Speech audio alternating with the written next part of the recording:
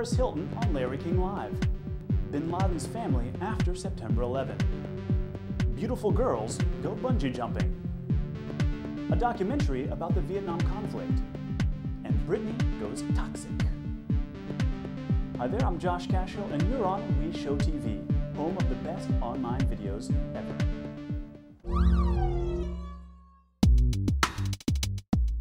Released early from prison for good behavior, celebrity socialite Paris Hilton spoke to Larry King about parties, drugs, and her life under the spotlight. Drugs. No, and what the celebrity socialite says about herself. I'm a businesswoman. When Paris Hilton talked to CNN's Larry King Live Wednesday night, she admitted she made a mistake but learned her lesson. What do you think? Do you think you did wrong?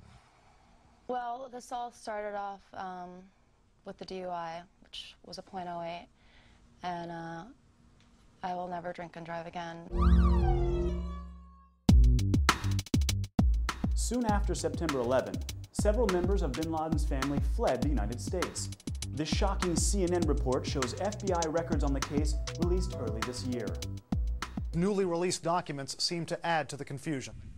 More than a week after the attacks, a couple of days after more than 100 Saudi nationals, including members of Osama bin Laden's family, are flown out of the U.S. on chartered flights, an FBI document mentions one of the flights.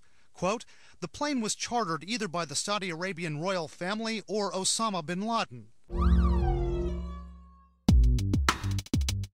To many, New Zealand is the perfect place for extreme sports.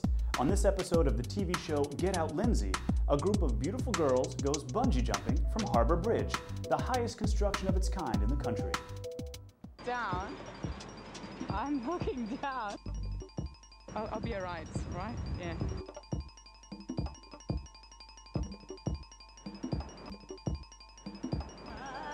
Oh my god. There's no way back, right? Three,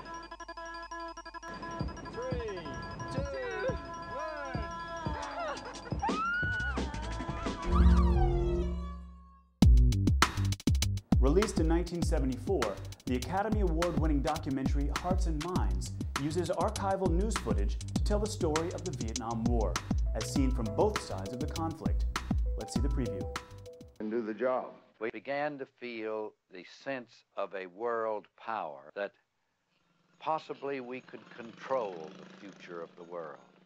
We don't see the end of the tunnel, but uh, I must say I don't think it's uh, darker than it was a year ago, in some ways lighter. Throughout the war in Vietnam, the United States has exercised a degree of restraint unprecedented in the annals.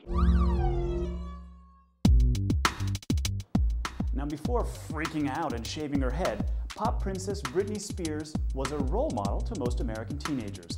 Ironically, our next featured video may be interpreted as a prediction of what's to come. Baby, can't you see I'm calling? A guy like you should wear a warning. It's dangerous.